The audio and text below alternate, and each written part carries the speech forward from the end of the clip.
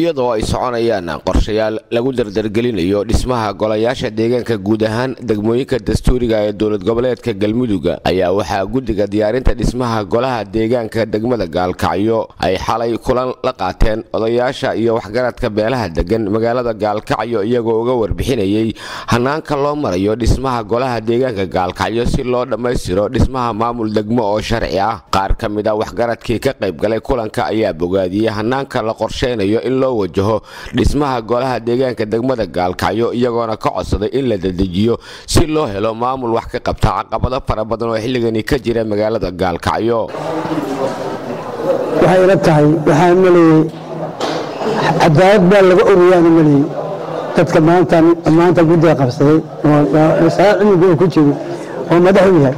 Cadaalad baa laga oriyey kulli waa la taageeray taasayna noogu dhammayd in laga dhaysaa baa la qaataa calooshaa ku taageeray intayda kale.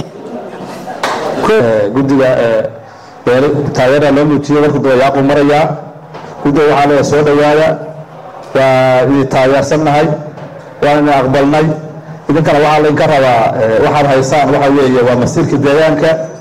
Masiirka deegaankana waayaa waxaa lagu imaanhayay wax ka beddelan waa in lagu yimaadaa waxaan leeya waa soo dhoweynaynaa waa taageersannahay waa idinla shaqaynaynaa haddii ilaahay yidhaahdo.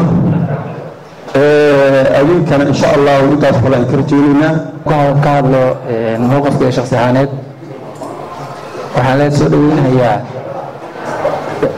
guddiga maamul samaynta degmada gaalkacyo waxaa lee soo dhowaada